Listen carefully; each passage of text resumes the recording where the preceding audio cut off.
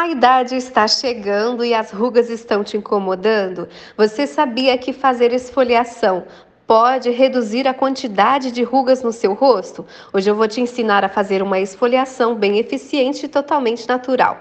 Isso porque nós vamos utilizar aqui a camomila, gente. A camomila pode ser comprada nesses sachêzinhos de caixa que você encontra em supermercado, tá bom? Você vai colocar todo o sachê de camomila dentro de um recipiente.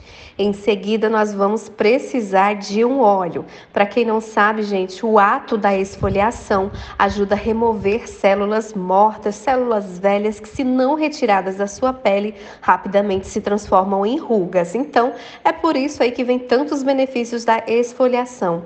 Tenho aqui o azeite de oliva, que tem o seu poder antioxidante e estimula aí a produção da firmeza na pele. E o óleo de rícino também contribui para a eliminação de rugas. Vou colocar apenas meia tampinha do óleo de rícino e uma colher de sopa de azeite de oliva. Agora é só a gente misturar e passar diretamente na pele. Antes de fazer qualquer receita caseira e aplicar na pele, faz um teste alérgico antes para garantir que você não vai ter problemas na hora da aplicação. Você pode aplicar com as pontas dos dedos, fazendo movimentos circulares. Para fazer a esfoliação, você não precisa colocar força. O ato de colocar força pode até mesmo danificar a sua pele e não é isso que a gente quer. Vai fazendo leves movimentos circulares por todo o seu rosto. Inclusive, caso queira, também pode fazer nas mãos, no colo, pescoço, enfim.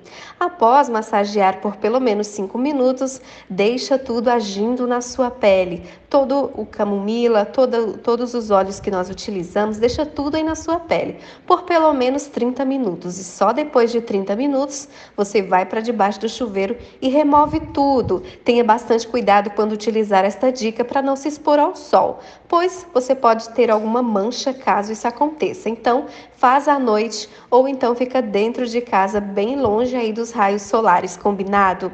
Bom, gente, a, essa dica não é para você fazer todos os dias. Esfoliação caseira não se faz todos os dias.